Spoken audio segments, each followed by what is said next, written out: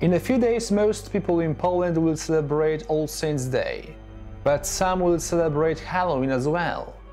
Are these two holidays totally different? Or perhaps they have something in common? Let's try to find out.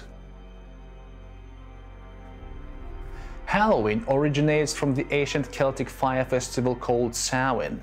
Samhain in the Old Irish means summer's end.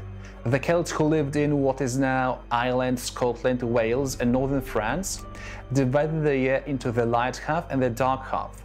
Samhain marked the end of summer, the harvest season, and the beginning of the dark and cold winter, so it was the transition from light to dark.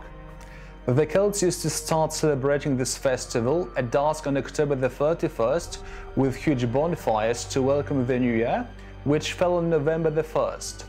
They believed that on the night of October the 31st and November the 1st, the boundary between life and death was at its thinnest and the souls of the departed revisited the earth. It was believed that mischievous spirits that wanted to take vengeance appeared on that night as well. As a result of the Roman invasion of Celtic lands and the spread of Christianity, pagan Samhain was gradually supplanted by Christian rituals. In addition, in the 9th century, Pope Gregory IV moved All Saints' Day from May the 13th to November the 1st. As you remember, Samhain fell on the night of October the 31st and November the 1st. So, from that time on, All Saints' Day and Samhain coincided in the calendar. Probably it was done to eradicate Samhain completely. Interestingly, All Saints' Day was also called All Hallows' Day because hallowed means holy. The day before All Hallows' Day, which was October the 31st, was called All Hallows' Eve. All Hallows' Eve. Eve means the evening before. Finally, All Hallows' Eve was shortened to Halloween. Over the years, Halloween became a secular holiday. Its name originates from Christian All Hallows Eve, but many of its rituals originate from pagan Samhain. For example, modern-day trick-or-treating has its roots in the tradition of preparing food for the ghosts by the Celts. The Celts were afraid of the mischievous spirits and they wanted to appease them this way. The custom of dressing up in costumes on Halloween originates from pagan Samhain as well.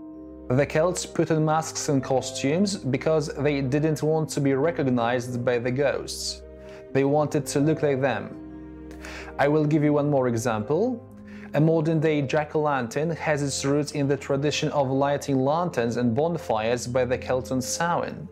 It was supposed to protect the Celts against the mischievous spirits and give them the sense of security. After all, All Saints' Day and Halloween have something in common. Both holidays are about afterlife, but celebrated in a different way. Halloween is the time when people have fun, whereas All Saints' Day is celebrated in a serious way, at least here in Poland.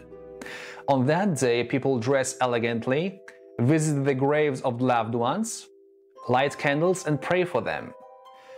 So the nature of these two holidays is different and that's why there is so much controversy over Halloween here in Poland. I hope I gave you a closer look on the origins of Halloween and its traditions. Thank you for your attention, see you later, bye bye.